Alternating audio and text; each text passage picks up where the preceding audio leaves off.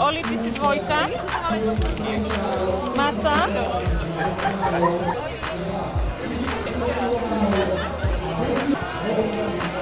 Thank you.